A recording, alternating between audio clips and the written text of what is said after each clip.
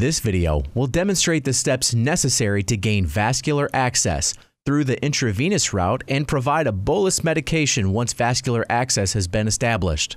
We will provide a general overview of the skill. For specifics regarding catheter size and fluid type, refer to your protocols, training officer, or medical director. Begin by taking appropriate body substance isolation. Clearly explain the procedure to the patient. Gather all equipment necessary to perform the procedure.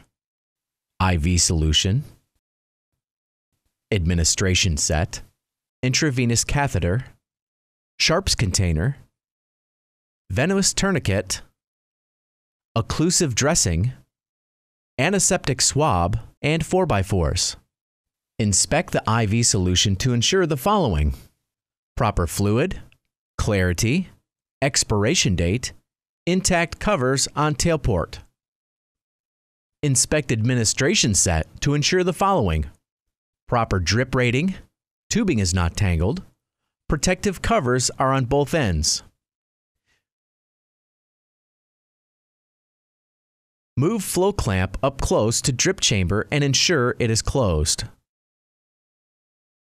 Remove protective cover from IV solution and administration set spike. Be sure to maintain sterility of ends while removing covers.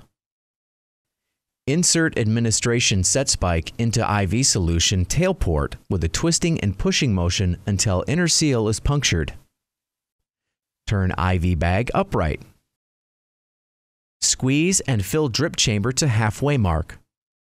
Open flow clamp and bleed administration set line. Shut flow off after all bubbles have been purged. Tear sufficient tape. Identify appropriate site for intravenous access. Apply tourniquet properly. Palpate suitable vein. Cleanse site, starting from the middle and working in ever widening circles.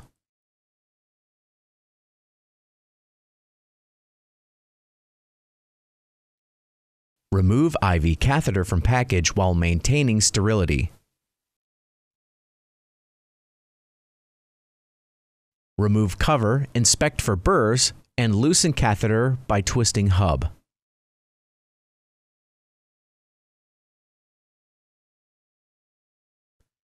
Stabilize vein and extremity by grasping and stretching skin. Ensure not to touch cleaned area. Warn patient of stick. Insert IV catheter bevel up at a 35 to 45 degree angle. Advance IV catheter until it is felt that the IV has entered the vein and blood is noted in the flash chamber. Lower the angle of the IV catheter and advance approximately 1 8 of an inch further. Stabilize IV catheter and slide catheter off of stylet by grasping the hub and advancing until hub touches skin. Occlude proximal vein at distal tip of catheter. Remove stylet and dispose in Sharps box.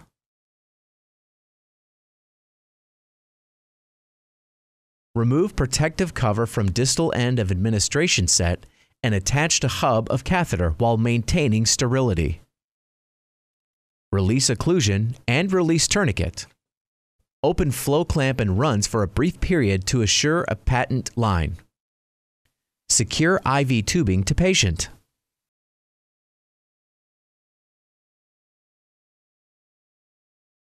Adjust flow rate to appropriate setting. Assess for signs of infiltration and irritation. Finish securing IV and IV tubing. Assess patient for therapeutic response or signs of untoward reactions.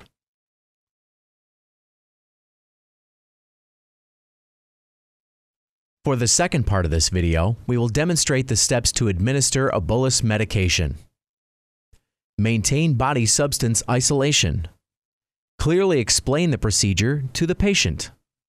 Select appropriate equipment to include appropriate medication, alcohol prep, Sharps container. Confirm medication order. Ask patient for known allergies.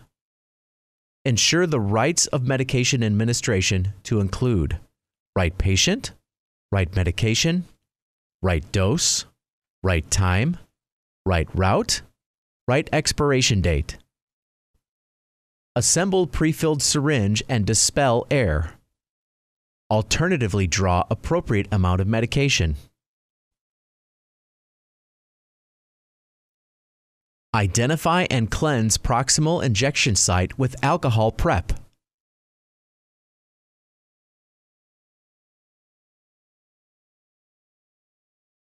Reconfirm medication. Stop IV flow.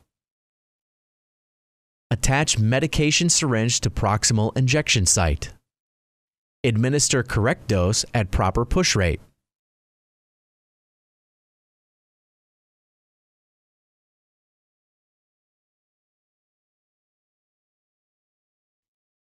Remove medication syringe and dispose in sharps container.